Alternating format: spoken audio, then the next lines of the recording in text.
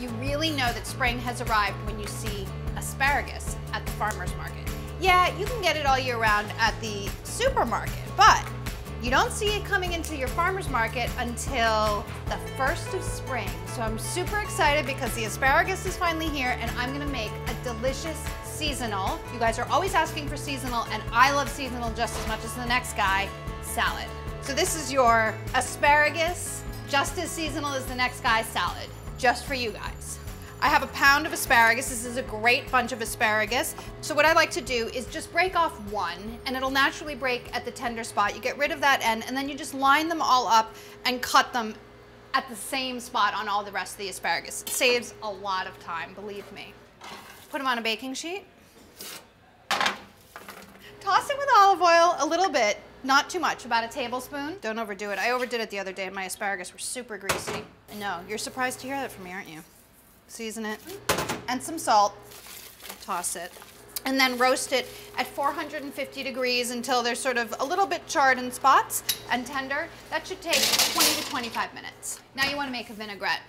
Two teaspoons of grainy mustard. You could use Dijon. We're big fans of mustard here, especially, but in vinaigrette they add great body, texture, flavor, all of that stuff. Two tablespoons of unseasoned rice vinegar and then three tablespoons of olive oil. Did you notice how I was gonna measure the vinegar but not measure the olive oil? That's me in a nutshell. I guess if you're gonna go ahead and measure your vinegar, you might as well measure your olive oil too. Give that a little bit of whisk. A little bit of whisk, and then it gets a quarter cup of chives. Just remove the damaged ends. If the tips are a little bit damaged, get rid of those. Chive is very mild and delicious and springy, and it's gonna add a lot of flavor, and then add them in. It looks like about a quarter cup, right? A little bit of salt. And your vinaigrette is finny and you're done. This is a very springy, kind of thick vinaigrette. It's gonna have a lot of body and flavor to stand up to the sort of assertive earthiness of the asparagus. Now, to serve your delicious salad, how about serving it with a little ricotta on toast? What do you think about that? Do you like it? I like it. Cut four nice slices of rustic bread, or for as many people as you're serving.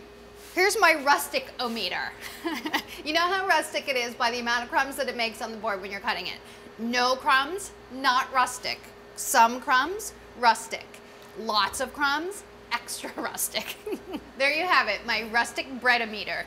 Brush your toast with some of the vinaigrette. Onto a tray. You're gonna wanna cook these at 450 in the same oven with the asparagus for about eight minutes. Flip them halfway through. I have three radish. I'm just gonna thinly slice them.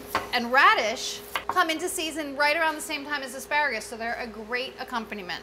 And they go into a nice big bowl of greens. I have some Boston lettuce and arugula. Lettuce, radish, and asparagus are all in season at the same time, so they're at their peak of deliciousness in the spring.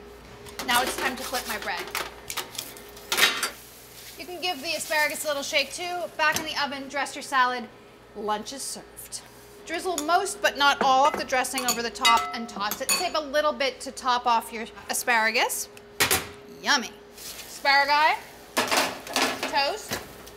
What's better than toast? Nothing. Nothing at all. Is it time to eat?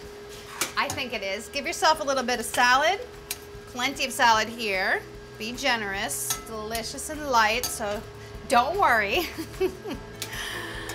Piece of toast. Spread it with some ricotta. If you don't have access to ricotta, you don't want to use that, you could put a little Parmesan shavings on top of this if you were interested. Mmm, mmm. Asparagus, don't forget that, the most important part. Mm. Happy days, people. And then drizzle with just a little bit of that vinaigrette. Et voila. Doesn't that look springy and delicious? There you have it light and delicious. It really doesn't get any springier than that. Roasted asparagus, ricotta toast, and delicate, delicate salad. Enjoy. Spring! It's completely appropriate to eat asparagus with your fingers, by the way, in the etiquette books.